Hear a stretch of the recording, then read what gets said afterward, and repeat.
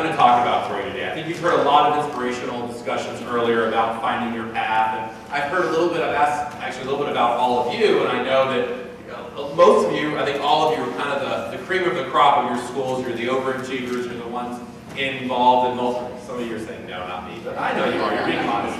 Uh, you're involved in multiple clubs and doing a lot, which I think is, is great. It's kind of a similar path I have. What I want to do for you today is, I, there's just so much, we only have an hour, um, and I want to do a lot of different things. So the first is I've been asked to talk a little bit about how at age 25 I served in, by, by, by age 25 I served in two White Houses and was getting my PhD at Oxford in this field of substance abuse because a lot of people think you know the only jobs in this field is either um, you can either be a cop or work in treatment or prevention, but which are all awesome. But there are other opportunities I want to talk to you a little bit about. I also um, just so I'm going to give you a little bit of my life story, and I'm sorry if it's a little boring. I'll, I'll try and speed it up. Um, I want to also talk a little bit about marijuana generally. I know I think marijuana is one of those, if not the most misunderstood drug that we have going on in a discussion about in America, including the state. And I'm not here to talk about, you know, how it's going to ruin your life if you use it once or reefer madness kind of stuff. But I'm here to talk about the science, just a little bit about it though, because tonight in people, anyone from Linn-Mar here? No? That's all right. Well, a couple of you. Um, we are having a much longer discussion. Bring your parents. Uh, where is it at exactly? At the theater. At the theater. Um, and uh, it's going to be a longer discussion on the science and stuff. And then I want to show you at the end a little 10-minute film, a little 10-minute video that we just put together. You're actually going to be the, the first um, sort of school population that has ever seen it, but we've shown it to a few different groups of adults, but it's brand new.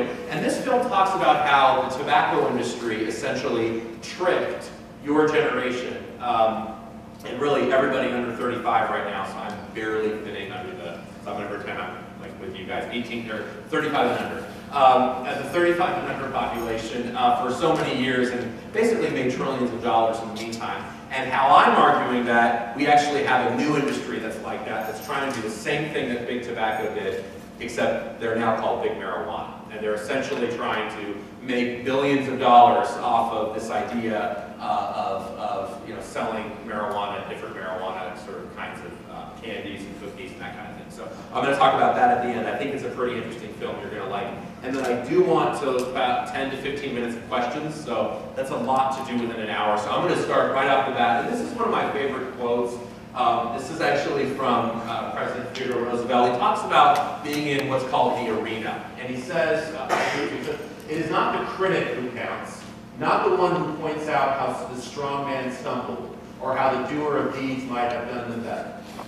The credit belongs to the man who is actually in the arena, whose face is marred with sweat and dust and blood, who strives valiantly, who errs and comes short again and again, who knows the great enthusiasms, the great devotions, and spends himself in a worthy cause, who, if he wants, knows the triumph of high achievement, and who, if he fails, at least fails while daring greatly, so that his place shall never be with those cold and timid souls who know neither victory nor defeat.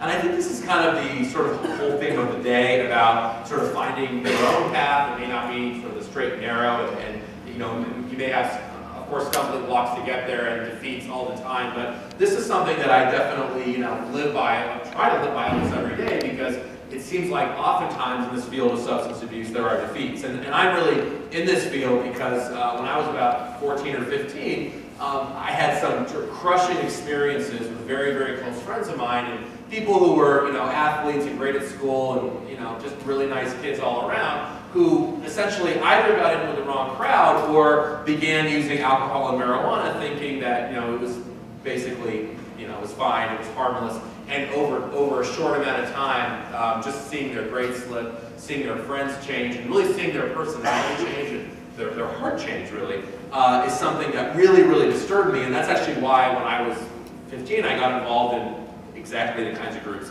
you're all involved in. It was a way that I actually, um, it was a way that I actually uh, uh, sort of kind of processed all this. Now, I had my life story, I thought, all planned out when I was like five. I was just one of those guys, and, and I know, maybe the minority. I, I sort of knew what I wanted to do. I used to watch like we didn't have Judge Judy back then, but sort of other courtroom dramas. And I'd be like, I want to be that guy. Um, and, you know, think I'd be a judge and do all this stuff, maybe get into politics go to the Ivy League, do all of that. Well, I'll tell you, actually, none of this worked out, by the way, including student body president. I was not student body president. And uh, none of this worked out at all. And um, it was just kind of, but, but I wouldn't change where I am right now for anything. And what it's taught me is, again, that things often don't, don't come out the way you want. I found my passion because of this tragedy that I talked about a minute ago about kind of what was going on with my friends and wanting to process it in some ways. Now, some of my own friends processed it in ways of actually using drugs themselves or getting angry or, or you know, just not really caring about life or caring about school because either their siblings or their, their best friends were sort of having all these problems and they didn't know how to deal with it. I dealt with it in a way that essentially I wanted to get involved in drug policy and prevention. I asked the question, and I grew up in an upper middle class household in Southern California, 10 minutes from Disneyland, where these kinds of stories were really swept under the rug. I mean, and I think that's the case whether it's rural, suburban, or urban, is that oftentimes it's much easier not to talk about things like substance abuse or mental illness also. Uh, and you know, people just want to pretend that everything's fine. Does that sound familiar some of you? Yeah. I mean, it's a lot easier to just kind of ignore some of the problems going on in the community. And I didn't, I just didn't want to ignore them. I'm not the kind of person that ignores. And so, um, you know, I, and, and, a lot of people didn't like what I was doing and they thought it was, even some of my friends thought it was annoying. They thought it was, why am I getting involved in this issue? Why do I care about substance abuse so much? Uh, I remember confronting our student body president, I was a freshman, he was a senior, in high school, and asking why for Red Ribbon Week are all they do, all that's going on is putting on, putting red ribbons around the school. Why is there nothing about factual information about what smoking or alcohol or other drugs actually do to your body? Because it's nice to do the red ribbons thing, and I'm not saying that's bad, and I told them that's fine, but it's, if it's just red ribbons, I mean, what, it, what are we learning, what are we taking away from it? So I sort of, at an early age, wanted to push that envelope. Um, I finally, when I went to college, I, I love seeing the Cal shirt here in the front row, because that was my alma mater. I went to Cal, UC Berkeley, or it's sometimes called Cal. That wasn't planned, by the way. That's like right there. Um, and I sort of settled for it because I wanted to go to a, I, you know, East Coast, fancy East Coast school that my sister went to, and I thought I should go to. But I didn't. But I, I was determined to stand out, and you know, I, I actually thought that would be easy until I got there and found that I had 40,000 other students, and it was kind of hard for anybody to stand out. Um, but I noticed a, a, lot was going on with drug drug activity, and you know, there are stereotypes about Berkeley, but I mean, there was you know definitely a lot of drugs going on. And it was actually in the late 90s a time when ecstasy, especially, like raves were a big thing. I don't really think they are as much as, I don't know, maybe here they are. But in the late 90s, raves were really big, okay? It's like the whole glow stick thing. Do you even know what I'm talking about? Or no? So I'm now aging myself to be the other age bracket. So anyway, the glow stick thing, you know, ecstasy, that whole dance movement was big, especially in Northern California. And kids were dying, like one a week from ecstasy. And everybody was just saying, well, they're not taking it the right way. They should have had more water, then they wouldn't have died. Or they should, and they weren't really getting to the, and I know we're laughing, but that's a real argument uh, that people even now today still use. And so I just wasn't happy with any of that. So I started a group that would sort of uh, like, um, anyway, I, I won't make an analogy, but I started a group called Citizens for a Drug-Free Berkeley. And I know people laugh that it's kind of like the coalition for a wine-free France, or I don't know, Iowa. What are you known for? Like, yeah, I was gonna say corn, but I didn't want to fill the stereotype. Like, okay, now that I have permission to say it, yeah, it'd be like starting Iowans for a corn-free Iowa. I mean, yeah, it's pretty. It's, it's, like you wouldn't be the most popular person uh, or in your community. And especially, I mean, signs like this were everywhere. You know, Berkeley marijuana initiative. You should register to vote for it to legalize all this kind of stuff. And but, but what happened was um, I started doing this and basically not really caring. And it was called Citizens, and uh, Citizens is a plural word. I get it, but I kind of took that a little liberally because it was usually me and kind of anyone that I could bribe. Like I buy them a cheeseburger on Friday night, you know, to work with me over the weekend. But we said Citizens, and we just did a I we did a lot of things that looked like it was actually about 100 people involved. It was signs, it was activism, and one day, all of a sudden, I thought, you know um, it was really hard locally for people to care, and I thought, you know, somebody in Washington, D.C. should care about this because I'm out here busting my butt trying to educate on drugs, and I don't, you know, I'm not really hearing kind of anything going on nationally. So I literally picked up the phone, and that was back in the day. I mean, it was actually pre-Google, but it's like, what was the search engine? I can't remember. It wasn't even Yahoo, it was something else. But I basically found the switchboard for the White House, and my friends were laughing. They're like, you're not going to get through the White House. You can't just call the White House. 202-555-2000. Who's going to answer? And um, anyway, the, the White House operator did answer.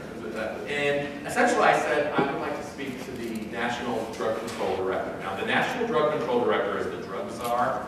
At that time, was the youngest living four-star general. This was a guy that was on TV. I mean, the most recent drug czars haven't been on TV as much, but this was a guy that was on TV like, seemingly almost as much as President Clinton. That was President Clinton in 1997, 98.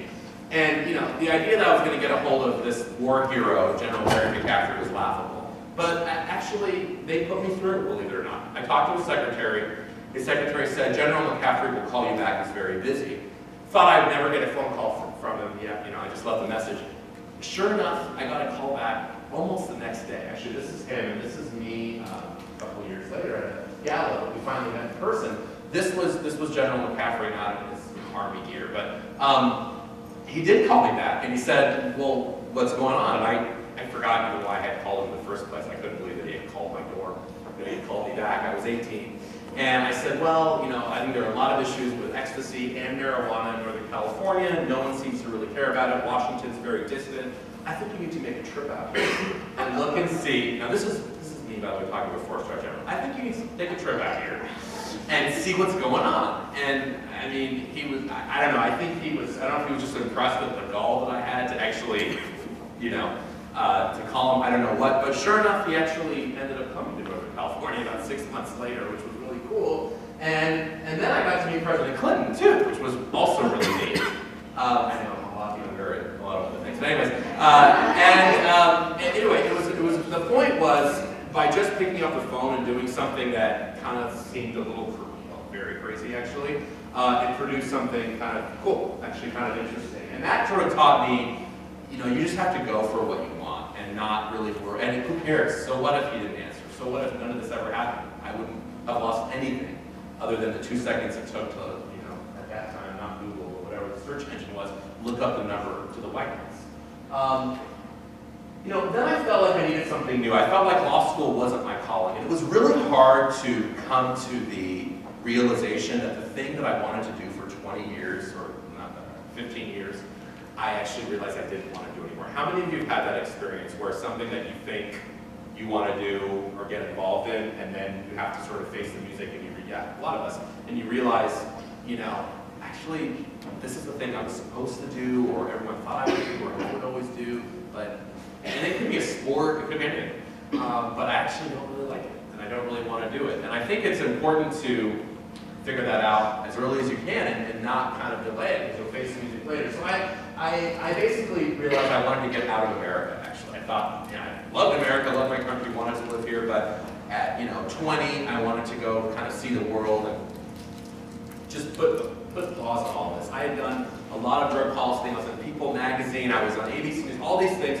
and I was kind of done with it uh, for a little bit. I wanted to sort of see the world and sort of get a different perspective. So I did. I ended up traveling. This is just, actually, this is my girlfriend now, my wife, in Berlin. This is the, um, the dividing line between East Berlin and, and when it was communist. There it's called Checkpoint Charlie. This is at Lake Como, which is a cool lake in Italy. My best friend, who's still my best friend, is in Denmark.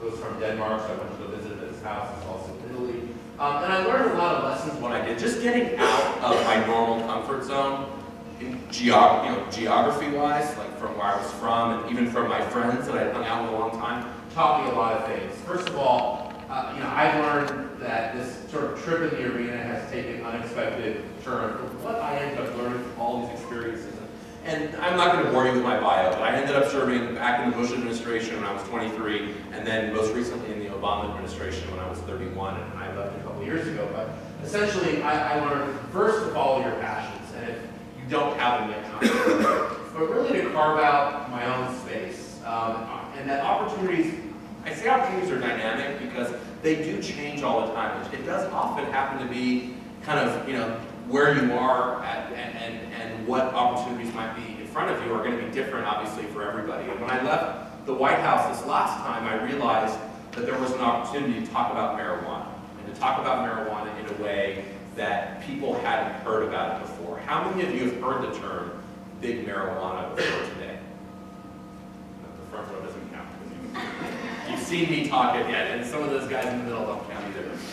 No, you haven't, because really, it hasn't been talked about that way. But how many of you have heard gateway? Gateway drug? How many of you have heard just say no? How many of you have heard, so, so you've heard those. And I'm not saying those things are bad or wrong or, my point is, I wanted to think about a new way to talk about an old issue and to put a new angle on it because I realized that so many people were getting caught up in, hey, marijuana is medicinal, marijuana is harmless, what's the big deal, and not really understanding the science around. So anyway, this is just the rest of the lessons learned, which I'm sure you've read by now, I want to I want to get into the, um, to the marijuana. So I ended up writing a book right when I left the White House called Reefer Sanity, Seven Great Myths About Marijuana. And the, the first myth I want to, how many of you have heard the myth that marijuana is not addictive? Or okay, that's sad, everybody, that's true. How about marijuana is harmless? And so I wanted to first kind of shatter that myth because what we essentially know, what the science tells us is that if you're 16 and you try marijuana for the first time, yeah, you, you likely will not get addicted, that's true. But one out of six of you will. So it's essentially, the issue with marijuana is it's, essentially a game of Russian roulette. You don't know if you're one of the ones that are going to be addicted. You don't know if you have that genetic predisposition. You have no idea. And I think what's happened in this marijuana discussion nationally is that people are getting so caught up with either, oh my God, I'm fine, I've used it and I'm fine, or my parents use it and they're fine, everyone's great and it's harmless, or, oh my God, if you use it once, you're going to use heroin. And you, exactly. And so when you hear you're going to use it, if you use it once, you can use heroin tomorrow, we laugh because the 99% of people who use marijuana today will not use heroin tomorrow. And that's certainly not probably the experience of most people in here. And so we think that if that's not true, then this other thing uh, must be true. That essentially, the other thing being, it's harmless and not addictive. And so the science just gets lost in this entire discussion about marijuana because, um, you know, it's just, it's easier to say that marijuana is harmless because it's not a drug like heroin. It's not a drug like meth or cocaine. When I say that, I mean that it's not going to show the negative parts of it instantly. It's not like with meth, I mean, you know, someone's on meth, it doesn't, it's not, doesn't look great, it's nothing to write home about. Um, and the physical, you know, attributions are so graphic. Same thing with cocaine or heroin or prescription drugs even. With marijuana, essentially it takes, it's, it takes its time to have, have its toll, if it's going to have that toll on you. So basically what, what I learned when I looked at the, the science and the research is that your brain, and who, who's under 25 here? Raise your hand. Most of you. So everyone that just raised their hand, I know some of the adults tried to raise their hand, but come on. All right, those that did raise your hand, um, your, your brain is essentially under construction, which is great, actually. It means that um, for you to learn a language right now is a lot easier than for me to learn a language. That's true. And, and when, you know, when do you learn to talk? When you're two or when you're 20? You learn when you're two because it's, it's easier. Your brain is essentially priming and pruning. It's becoming who it is. If you wanted to learn how to play a sport, now or earlier would be the time to do it rather than later in life. Uh, when do you learn how to swim or ride a bike? Do you learn when you're five or do you learn when you're 50?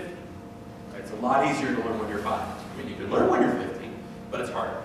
And that's because your brain picks things up so much easier before it's fully mature. And your brain has matured probably about 60 to 70%, but it has some going to do. And essentially, when, and drugs, including alcohol, of course, by the way, is also a drug, it just happens to be legal cultural reasons. Um, when that drug enters your brain and your bloodstream, it essentially has the potential to have much more damaging effects on the, as your brain is being built, than it would mine, someone 35 or over.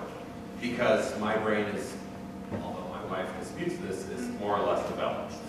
Um, but, but, but most of you, and when you're under you know, 25, your brain is still developing. So when scientists look at adolescent brains that are using marijuana, certainly they see the susceptibility to things like addiction. Again, does addiction to marijuana look like addiction to heroin? No.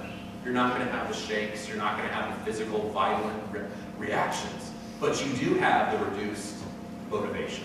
You do have the increased anxiety. You do have the more susceptibility to depression. Doesn't mean that everybody who uses marijuana, that's going to happen to them. It means that you're playing a game of Russian. And that's sort of the message on the health harms that I try and talk about with this kind of with the science and crime Um, now, the reason why, by the way, we see marijuana doing that to your, is more likely to do it to your brain than when your parents were your age, who might have also tried marijuana. The reason they might have actually gotten away with it, frankly, is because the marijuana they smoked, I mean, unless they're like 20 years old, which I don't think they, that's physically possible. The marijuana that they smoke is about five to 10 times weaker than what you would ever get offered or you could ever buy here. Um, that's because good old, who has heard of GMO foods? Or just GMO generally? Okay. Good old genetic modification, you know, it not only gives us like giant tomatoes, uh, it gives us giant marijuana, and literally high super strength marijuana with the THC, which is the active, THC is what gets you high. The THC ingredient being manipulated by farmers, actually, by people who are growing marijuana, um, to get that high, you know, essentially to be to be more. because you get more money, frankly, for your pot when you sell it if it's greater strength. So the reason why we're seeing the problems among much more among your generation than mine or anyone else's in here uh, is because of the high strength THC, the higher potency stuff that was a dream, not even a dream when your parents were your age. It wasn't even possible.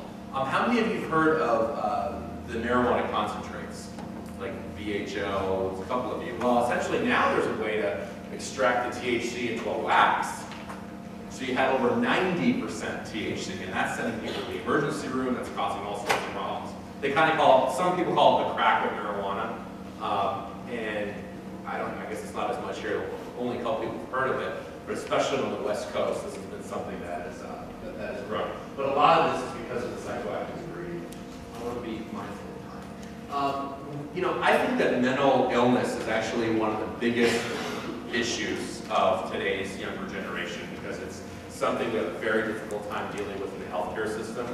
When you connect the dots between marijuana and mental illness, um, and, you know, I, I, don't take it from me, by the way, all of this you can look up, um, credible medical resources, uh, the American Medical Association, other groups would be good to, to look into. Um, unfortunately, when you just Google marijuana nowadays, you have websites that are frankly run by either literally drug dealers or people that are out to make money in Colorado and Washington and other states uh, manipulating the science, and that's unfortunate. But if you look up credible resources, you'll see the, the issues with mental illness that we're seeing in marijuana. I know. Uh, and then how many people think that, uh, or how many people have heard, not think, that marijuana makes you a better driver? You heard that? Some people have heard that. Or that it's not that harmful for driving. Well, marijuana actually doubles your risk of a car crash, and that's mainly because, you know, people think that, well, if you're driving 30 miles an hour in a 70, that must be safer than driving like 90 in a 70. Uh, it's not. Uh, driving slower, being able to not have that depth perception, which is what marijuana affects your, your perception, um, is a huge risk on the roads, and it's the leading cause after alcohol of DUI-related um, DUI-related crashes. So I think that's something that a lot of young youngsters don't understand. How many of you have heard that marijuana is medicine, right? That it's medical. You everybody. Well, essentially, um, anybody can wonder, how many of you have heard that opium is medicine? One. You're, you're smart, too. Well, opium is medicine, by the way. Um, opium, we have multiple, you know, all kinds of pain relievers that come from the plant opium. Would anybody in here, though, say we should smoke opium or inject heroin in our arms to get the pain relief from things like morphine? No. What's that? Well, it would be more than worse. It's not really the, the form that you would want it in, right? Yeah. And so um, we have morphine in hospitals. Morphine is the best pain reliever we know about. That's what we're gonna, the opiates are a class of pain relief because essentially we have opiate receptors in our brain, and that means when we feel pain, we can blunt those that feeling of pain by by these essentially these drugs that travel to our brain and blunt those receptors. That's good. If you're, if you're having a lot of pain, you want those you want that to be blunted. Now, of course, it's also addictive and people die of prescription drug overdoses every day. It's a national epidemic. But if used properly, there is a role for opiates. Now, I think actually if used properly, there's also a role for marijuana as medicine, but it's not the marijuana you're thinking of. Just like nobody raised their hand almost when I asked if opium medicine. Because we do have, oh, sorry, we do have mouth sprays and pills based on marijuana. I think that's fine, that's what science shows. but we don't need to smoke pot any more than you should smoke opium to get the medicinal effects. And so that's been the big disconnect in our discussion in this country. Everyone's like, well, marijuana is medical. Well, that's like saying heroin is medical. Well, heroin comes from opium, right? Or opium is medical. Well, in a sense it is, because there's a version of it that essentially is, a version that we know the dose, and we know what's in it, and all of that. With marijuana, that's happening now. There is a pill, there are other things that are coming on, oils.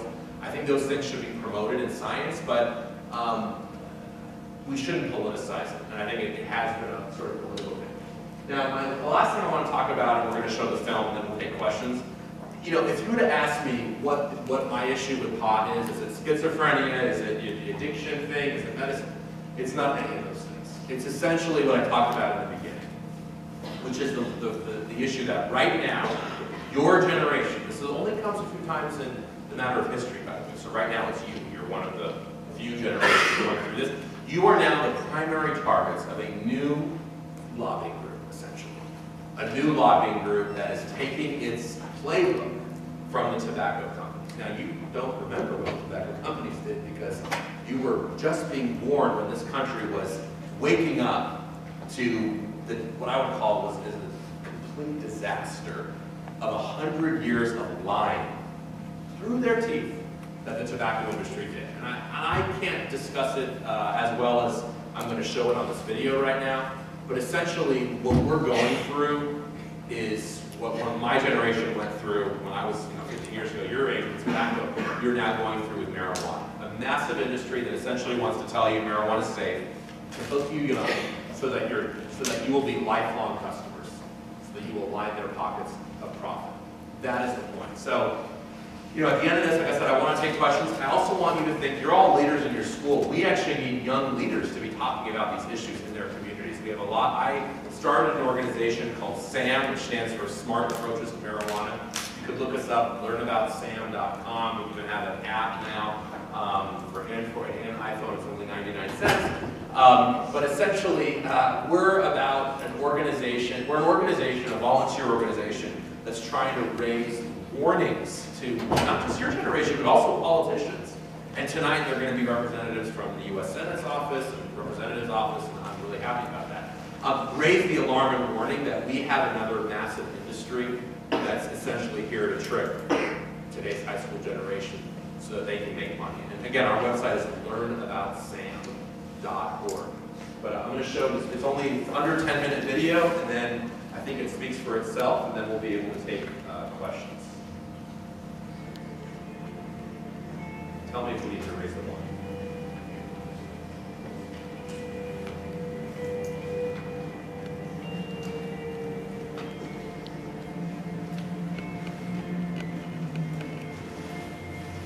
Begin with a brief history of smoking and big tobacco. In the early 1900s, smoking is a niche market. Cigarette manufacturing techniques have been invented, but demand is relatively small. But by 1915, the sales are ramping up manufacturers use trading cards as collectibles and employ other strategies. One such strategy is targeting the military. Tobacco companies give cigarettes to troops and work with the military, urging the public to donate to cigarette funds for soldiers. The media backs the effort. The New York Times writes that cigarettes lighten the inevitable hardships of war, and another popular periodical describes cigarettes as the last and only solace of the wounded. Despite the push, not all states are for cigarettes. At one point or another, cigarettes are banned in many states, not for health reasons, but for moral reasons. In 1912, American Dr. Isaac Adler strongly suggests that lung cancer is related to smoking. In 1929, a German scientist publishes formal statistical evidence of the link between lung cancer and smoking. As concern about the health risks increases, cigarette companies design ad campaigns with doctors. The strategy is to confuse. How could something be bad if doctors say it is good? Ads state that cigarettes are good for you, good for digestion, weight loss, stress and tension relief. We begin with a niche market, with some states banning cigarette use, Health concerns are raised, but the industry pushes ahead, marketing with doctors. It's 1950, and big tobacco is booming, one of the most profitable industries in the world. The smoking rate is nearly 4,000 cigarettes per person per year. And then, the 1952 issue of Reader's Digest, the most popular magazine in America, publishes the article Cancer by the Carton. In reaction, the heads of the largest tobacco companies hold a secret meeting in New York's Empire State Building in December of 1953. They decide to sow doubt about the health findings of cigarettes. They pay to publish an article called A Frank Statement to Cigarette Smokers in 448 newspapers. It questions evidence that cigarettes cause cancer. They press on, marketing cigarettes as scientifically valid. They invest huge sums of money into research institutions in return for findings that cloud the cigarette health picture. They partner with candy companies to promote the concept of smoking to youth, but the facts are emerging, and in 1964, the Surgeon General announces that smoking causes lung cancer. Per capita use rates in the U.S. steadily decline after warnings, taxes, advertising bans, and public perception. But big tobacco companies keep up their strategies. In 1973, an R.J. Reynolds document reveals the long-seated emphasis on targeting teens with cigarette ads. Realistically, if our company is to survive and prosper, over the long term, we must get our share of the youth market. This is done through ads, comics, fruit-flavored cigarettes, and more. And because the youth brain can be more easily addicted to nicotine and kids make good, lifelong customers, they are invaluable targets. But of course, even as late as the 1980s, the industry denies the addictive nature of nicotine, although internal documents show strategies to increase nicotine concentrations as a means of retaining customers. Despite the death rate of lung cancer being a near perfect correlation to smoking, and the Surgeon General stating that smoking causes cancer, there is very little success in suing the tobacco industry for 30 years. The first big win comes in 2000. So where is tobacco now? The U.S. is back to smoking levels of earlier in the 20th century, but other parts of the world are on the rise. Cigarettes are the single most traded item on the planet, with trillions being sold each year. And despite being legal, black market cigarettes are a multi-billion dollar business. For example, the majority of cigarettes sold in New York State are done so illegally. Smoking takes about 14 years off your life, causes 6 million deaths per year, the population of Atlanta each year, causes hundreds of billions in economic damage. Even after cigarette taxes, smoking is a big net loss for a country. The tobacco industry has sold 43 trillion cigarettes in the last 10 years. Spends about $20 million per year in the U.S. alone on lobbying. It's about a $35 billion industry, equal to the profits of Coke, Microsoft, and McDonald's combined, and is more profitable today than ever. Meet the next tobacco industry, marijuana. Like tobacco, big marijuana is well organized and extremely well funded. And like tobacco, big marijuana is using all the same strategies. Tactic one, make smoking marijuana seem good for you. Smoking tobacco was linked to lung cancer in 1929, but it took 30 years and millions of deaths to prove that smoking caused lung cancer. Marijuana is positioned as medicinal, but studies show that it negatively affects the brain.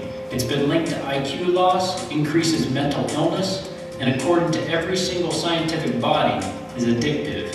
And for young people whose brains are still developing, marijuana has an irreversible impact. Addiction rates go way up. One in six who start marijuana use before age 18 become addicted. And for daily smokers, the risk of addiction rises to 50%. School dropout rates increase, and the risk of schizophrenia increases by 600%. Today's marijuana is not the pot of the 1960s and 70s. It's typically four times stronger and can be more than 10 times stronger. 21st century pot products have a high content of the drug's active ingredient, THC. With marijuana infused and sprayed foods, a single gummy bear can get four people high. This dab, a high potent concentrate, is produced through techniques similar to those used for crack and meth and has the potential to be highly addictive. While the pro-pot lobby presses the claim that marijuana is harmless, one in nine fatal car crashes involves marijuana use, and this statistic is rapidly rising. As part of the tactic, facts are continually obscured. In 2009, a pro-marijuana lobby webpage announced the Institute of Medicine report on medical marijuana celebrates 10-year anniversary. Terms like medical marijuana and celebrates make it sound like the report praises marijuana as medicine. The comprehensive 267-page study is called Marijuana and Medicine, not medical marijuana. It does discuss some therapeutic benefits of THC, but clearly rejects smoking and marijuana as beneficial. It states, smoked marijuana is unlikely to be a safe medication for any chronic medical condition, and smoked marijuana is clearly harmful, especially in people with chronic conditions. It's likely that, similar to opium, marijuana may have medical utility, but also like opium, we don't need to smoke it to gain medical benefit. The American Medical Association and every major medical group in the country has come to the same conclusion. Marijuana use is a public health problem, and the legalization of marijuana sales should be opposed. Tactic two, money gets things done. How much does it cost to get 20,679 physicians to praise cigarettes? How much does it cost to supply the armed forces with free cigarettes? Big Tobacco spent huge sums of money to manipulate the public, but clearly it worked, as use rose almost parabolically. Where does big marijuana spend its money?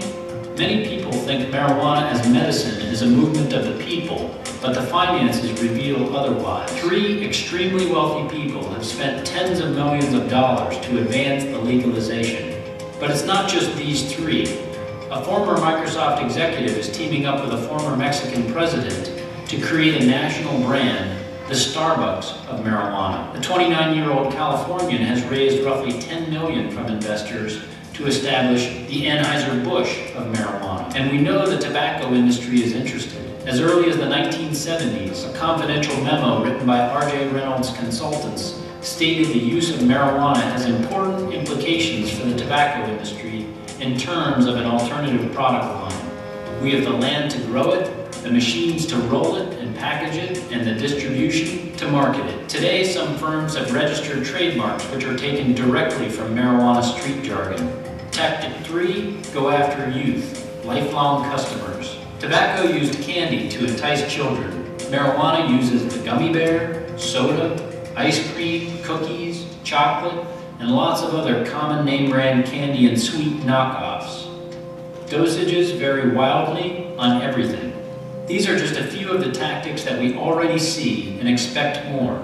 The marijuana industry is projected to be a $10 billion industry in four years, is becoming a massive human experiment with potentially unfathomable consequence, and is only just beginning. Early on, the cigarette industry had the public believing that cigarettes were safe, if not healthy. But with massive public use, the science could not be hidden. Today, we realize that the harms of cigarettes far outweigh the benefits. With marijuana, industry forces are again at work positioning marijuana as safe, even healthy. The science again shows many harms. What will the outcome of massive public use be?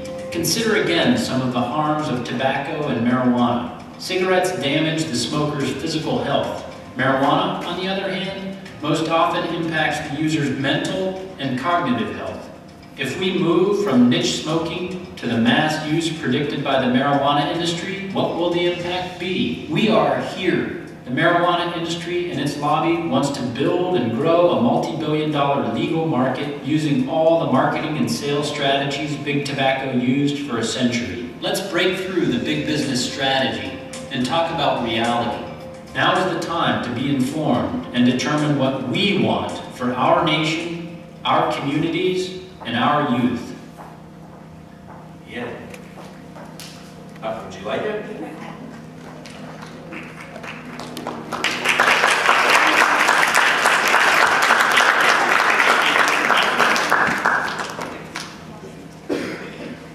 How many of you have heard that message before? Yeah. So, so obviously, uh, it's something that we need to get out there. We don't have the money, the billionaires like uh, a lot of other people do to get their message out, but, but we're trying to do that. So um, we have about 15 minutes left, and I was hoping we could take questions. Do we have that handheld mic that we had earlier? And maybe somebody can volunteer to be Oprah or somebody to go around. Um, That would be great. Because if you want to think about questions that you'd like to ask, or even just comments, things that you'd like to share from your own sort of school peer experience that I can learn from, I tend to learn as much from you, if not more, than you might learn from me. So I'd love to hear just about your experience and what you think would worth to to teens about marijuana. That would be helpful. Who wants to be the brave first hand to either ask a question or share a comment? And if you're stretching because you were yawning, I'm going to pretend that that was a question. Okay. There you go. And if you can just say your name and grade. My name is Cassie Rupert. I'm a sophomore, and I was wondering just um, why the distribution of marijuana is becoming so popular, even though it's illegal, while tobacco isn't. You tell me. No, I, I mean, I think that it's because, people think it's relatively harmless. If you think about it, tobacco is legal. I mean, cigarettes you can buy for 18 or over. And yet, the societal sort of stigma against cigarettes, I think, is greater than the societal stigma against marijuana, which gets to the heart of your question. Why is that the case? I just think it's been completely legitimized over the last 30 years, and it started really with medical. I mean, think about it, people. Um, you know, if you're if you're the stereotypical stoner is like the lazy guy who's living with his mom at age 40 and like still mom cooks for him, that's sort of you know nobody has a lot of sympathy for that person. But if you can change the stereotypical stoner to go from that guy to the 80-year-old dying of cancer, right? Or, or I know you've had the discussion about kids with epilepsy, right, in Iowa. So if you can change that from a political point of view, from the stoner that nobody cares about to the two-year-old with 60 seizures a day who will break your heart, you're going to go pretty far politically. So I frankly think that this has been a really smart political strategy among the people who stand to make money from this who have said, we gotta change the image. Let's talk about medical, how this is really good for you, for kids and old people and all that, because who's gonna vote against an 85-year-old granny or a two-year-old with seizures? Nobody. So if you're able to do that, then you can eventually get people to come on your side. You know, psychologists, anybody, I don't know if you're all interested in psychology, but uh, psychologists, some of you are good. Psychologists talk about the thing that we all have in our heads called permission structure. What that means is, essentially, in everything that you like or dislike, you, you, you don't realize it. You unconsciously give yourself permission to be okay with the implications of liking it or not liking it. So with marijuana, what a lot of people were like, I don't, I don't like marijuana, I don't use it, it's weird. But what gave them the permission to now be okay with it is this whole thing on medical. It's like, oh, well, okay, if it's about the dying kid or the dying grandma, then I guess I'm okay with it. And over time, that is I think had a lot, that's eroded, and, and it's had a lot of uh, prominence.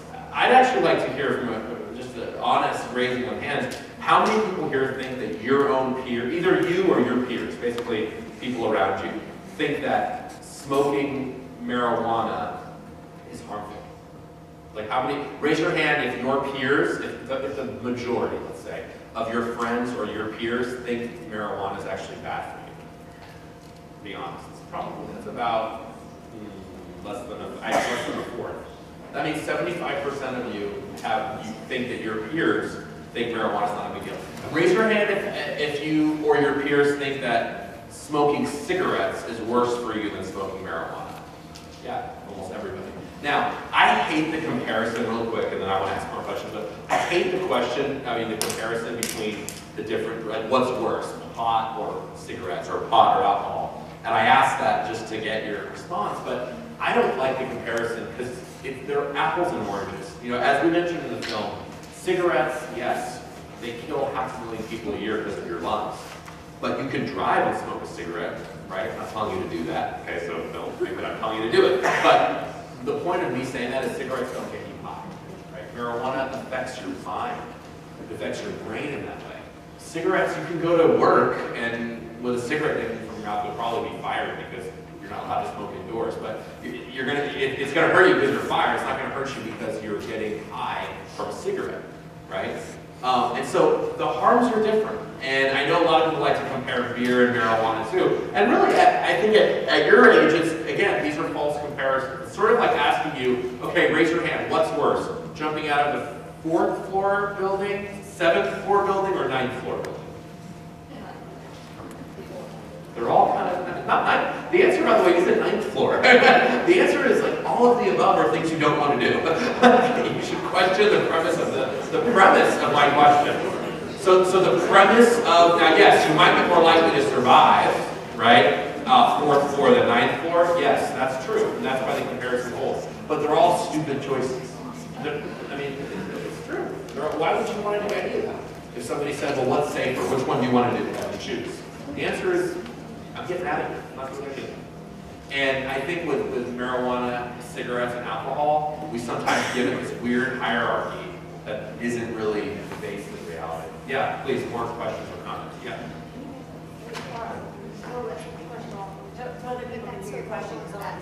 Ahead. I'm Isaac, I'm a sophomore. I mean, when you have enough common sense to smoke marijuana to know that if you drive, you will get in a car accident. You would hope that people would have common sense to know that, but uh, according to a survey last year, 17% of high school seniors, so they're supposed to be the smart ones, right? High school seniors uh, uh, say that they, no, they're not, I don't think there are any seniors, uh, say that they have gotten into a car or they themselves have driven while high, they don't think it's a problem. So that's almost one in five. And that's because of this perception again that like smoking's gonna kill you tomorrow, but smoking pot is. Um, It's. If you're gonna smoke, Put it in the smoke microphone again, something. safe. If you're gonna smoke, smoke safe. Yeah, obviously if you're gonna smoke, don't get into a car, but uh, the, the, the problem is, it's not just getting into a car that's the problem with smoking marijuana. So, but- but yes, obviously, if that's happening, you don't want to encourage anybody to drive. Yes? Um, My name is Rahel. Um, I'm a freshman. Um, like, So you must be the smartest one here, because I wouldn't think seniors would know. Freshmen, too. well, I know, sorry, seniors. It was there, they said it, not me, I didn't say it. Go ahead. like, why are like food like companies why do they have like marijuana in like their food? Why they put in foods? Because would you, if, let's say you're 13 years old, are you gonna be more likely to grab a really weird looking cigarette blunt thing that you have no idea how to light it? Or are you gonna be willing to grab what looks like a cherry gummy bear? By the way, who doesn't like gummy bears Two, three, okay. How about who doesn't like gummy bears, chocolates, cookies, or brownies? You're probably the most healthy person in the room, okay? You- I didn't follow your diet. But anyway, the vast majority of people do. And especially if you're young, you do. So point is, make it attractive to kids. Why did tobacco companies for 50 years make candy cigarettes? Have any of you seen those, by the way? Do they still even have, they, they actually have them. Yeah, well, they have them, and I, I remember being like 11 years old and wanting them. I thought they were really fun. Remember, you, I don't know what you do now, but you used to blow out it was, of this gum, and it would blow what looked like smoke. I that might have been in the Stone Age, but anyway, that's how they used to be. And, um, and, and so when you wanted to emulate what was going on, like what you thought was like, you know, I think the best advertisement for, for drinking, like if a, if a, if company wants someone to drink, they should do what I, I think Miller used to do, I don't know if they still do this, where basically it says like, you know, it says like, you know, off limits until you're 21. I mean, that's the best advertisement to get any 17-year-old to say, well, I'm drinking now. Because if this is gonna, make me an adult, if this is a badge of adulthood, I want it. And that's what we're seeing right now with all these marijuana products. So I just think it's a lot easier to use, and that's why they target. You have a follow-up question? Yeah. Go ahead. Like for like, if they're using the same ideas that they used back then for tobacco, like, who's gonna be like, why are they still falling for it when they know like it was bad? That's the million-dollar question. That's why I'm here. Why are people falling for it? Because I hate to break it to you, but we have, Americans have bad memories. History, please read your history book. It will repeat itself 10 times in your lifetime, whether it's whatever it's, that issue it is. And, and we, unfortunately, listen, this is, people might go to China now for manufacturing, but they still come to the US for advertising and promotion. We are the kings of the world when it comes to PR. That this is, you come to America to advertise and to promote something. That's our capitalistic society, how it is. And that's mainly benefited us as a country, right? We get all these great things because, you know, we, we can sell them much better than most other countries. That's a good thing normally. But it can, the flip side of that is when it comes to these sort of products, by the way, no other country in the world has even gotten close to doing what we're doing, the way we're doing it here with marijuana. So everyone's kind of watching us saying, wow, what's going to happen? And I, I just want to say one more thing, and I think that it also has implications for all of you, frankly, when you're out in the, in the competitive workforce, okay? And I don't mean it, but you're, you are competing against many more people than I have competed against. Millions of people that are just as smart, involved in just as many clubs as you are, from around the world. You're competing for those spots in college, you're competing for those jobs with them. And my message to lawmakers who say, on the one hand, we want to raise education standards and we want to give you job opportunities in America, we also want to legalize marijuana. My message to them is, you know, good luck with that. It's a totally contradictory message because I can guarantee you that the people you're competing for jobs with on the global economy, they don't have nearly the number of marijuana users that we do, or really any drug users. And so we lead the world on prescription drug opiate deaths, marijuana, meth, cocaine, all of those things. And it's sort of like politicians are saying, good luck, good luck, you know, well, we have, this is the worst time to be in the economy, good luck with your future, but we're gonna legalize marijuana.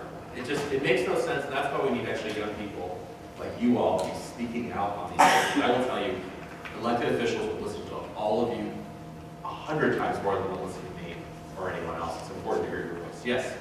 You set up my stimulating question, and that's legalizing marijuana. My question is, why focus on whether it's legalized? When we're trying to legalize it, obviously, but it's still evidence. So like, why is the focus of, on legalizing it or not instead of? Rather than just talk trying about the harms. Right, Exactly. right. Well, I, that's a good, why is my focus or why is the society, the society?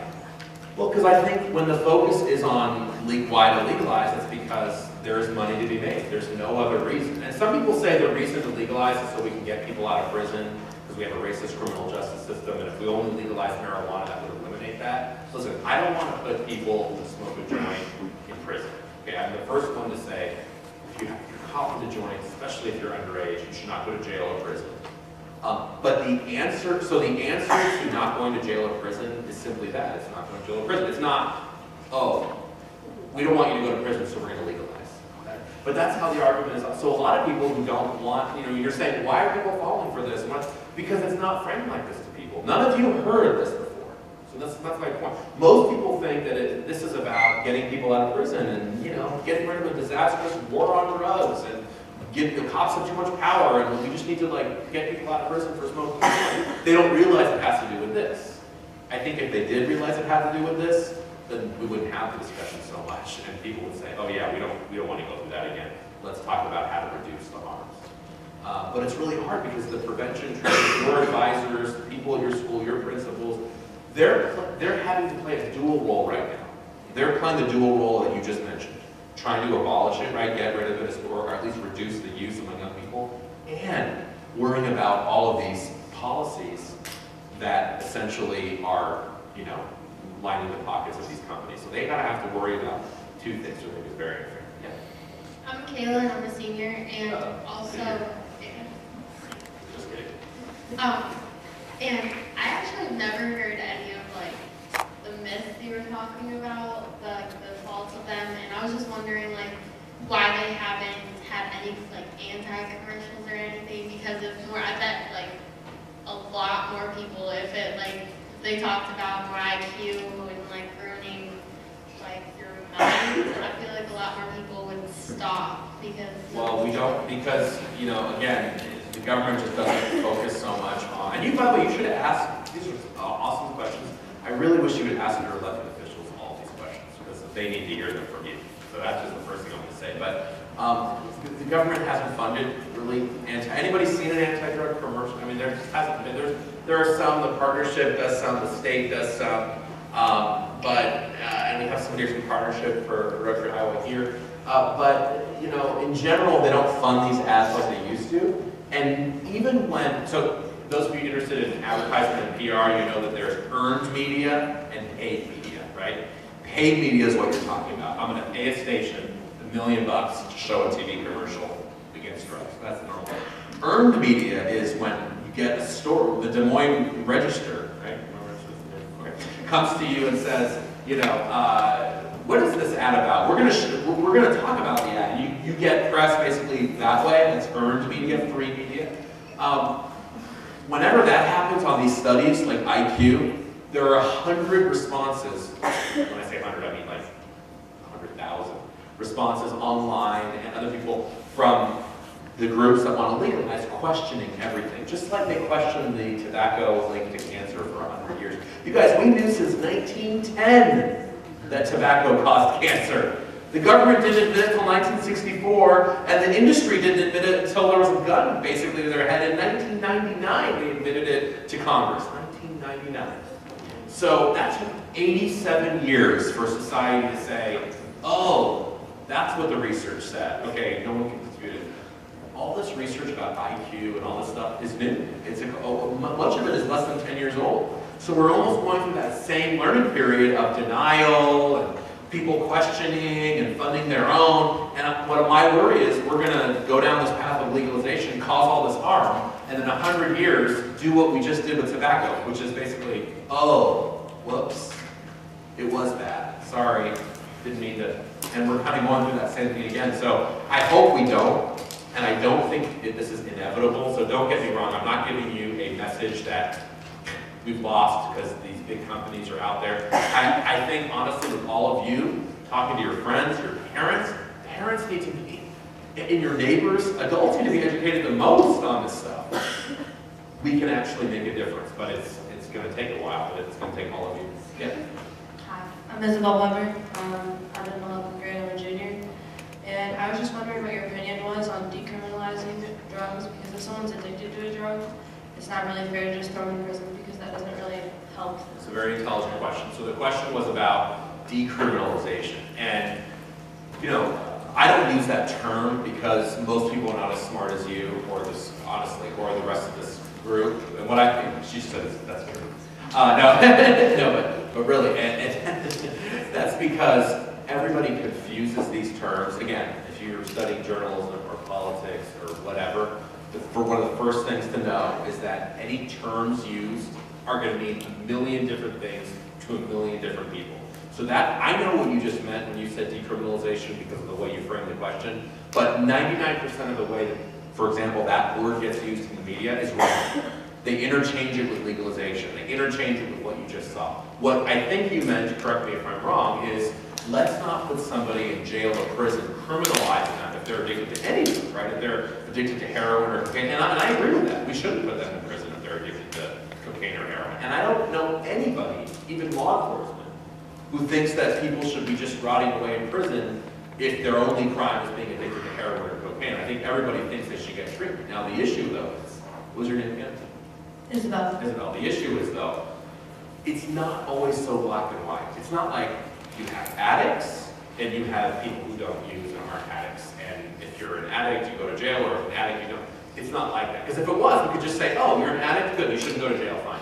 The problem is, it's, I committed robbery, burglary, and attempted murder, oh, and I'm an addict. Or, well, not, not all the time, but a lot of the time. Or, I shoplifted, and I'm an addict or I was involved in child abuse and I'm an addict. So, or I got into a drunk driving accident. I killed three people, but I'm addicted to alcohol. Now, what do you say to that person? Do you say, "Oh, you're addicted, so we're going to forget about the fact that you killed three people and broke the law, and we're just going to give you treatment"?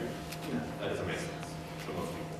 What you would say is, "Well, you need some punishment because you killed three or attempted to kill three people, even if that didn't happen with your car, even if it was an accident, it was negligent." And so you have to be punished for that. But we want to give you treatment while you're in prison or jail, or we want to make sure that when you go back to the community after you serve your time, you're healthy, that you're not addicted anymore, or at least there's a path to follow. And so I think in our criminal justice system, we need to invest much more in treatment in the system, because again, a lot of these people who are addicts and are, they've been arrested an average of 17 times, they're not just perfect angels who happen to also be addicted to heroin. They were committing crimes at the same time. You need to treat both issues. So, do you, did you want to respond to that at all? Kind of. Okay. So what if someone is just charged with like possession? Like, Let's say someone was charged with just possession of heroin and they didn't have any other charges, Yeah. and then, so Yeah, does no, that mean they should just go get treatment, or should they? Well, I don't think everybody who's charged, this is how complicated drug addiction is, you all know. It's not that everybody who ever uses anything needs treatment. That's also maybe a waste of treatment. You don't want to give treatment to somebody who maybe just used marijuana for the first time and not addicted yet. So everything depends on the context of the person. So my thing is, it shouldn't be a one size fits all. In general, I prefer treatment, but I also realize that you need to punish sometimes too, because if there are crimes that are being committed. Okay, I think we have time for two more questions. Good, I'm I'm excited about how many questions. we have. I'm Bree Verhey, and I'm I'm a sophomore, and my question is, is like, why is only some states have legalized marijuana, and not every state? Question.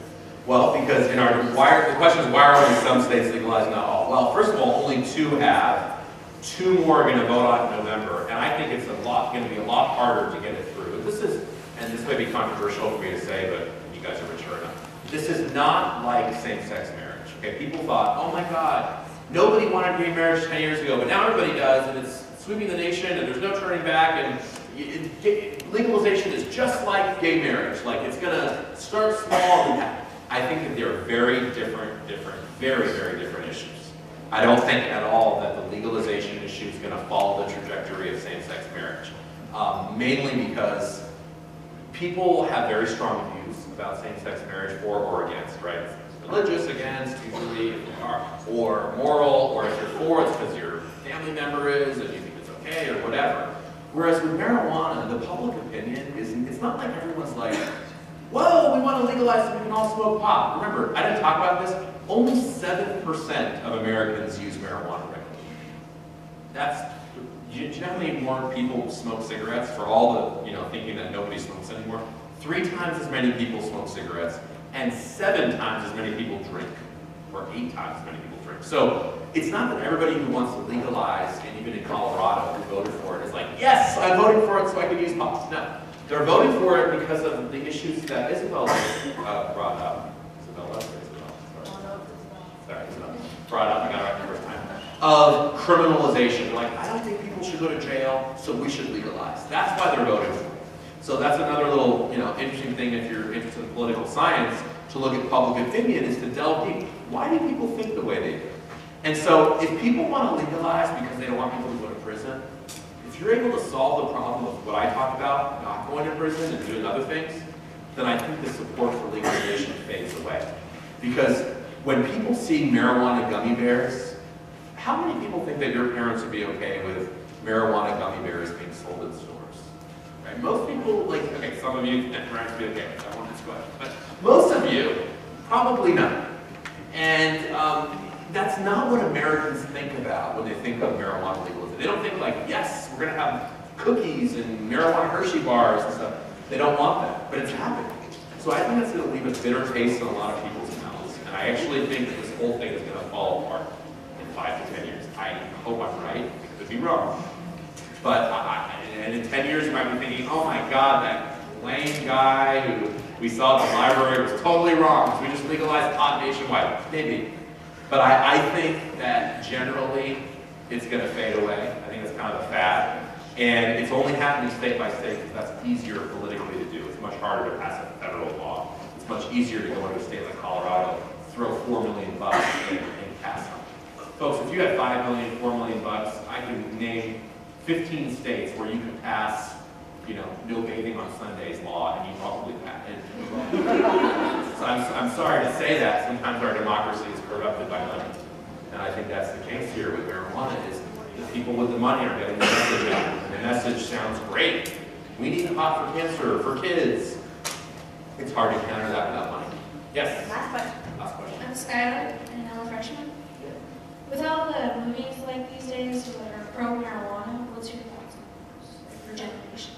I mean, you know, look, I like a lot of the same comedians and probably movies that, you know, my, my wife thinks that my brain is still developing, so I probably like a lot of the same things you guys do.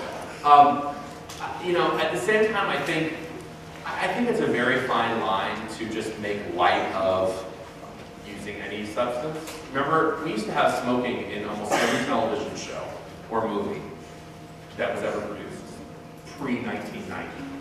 You would find at least a cigarette in one, every single movie or TV series at some point. You never did. When's the last time, any of you remember even seeing a cigarette on TV recently? No. I mean, it- it's gone.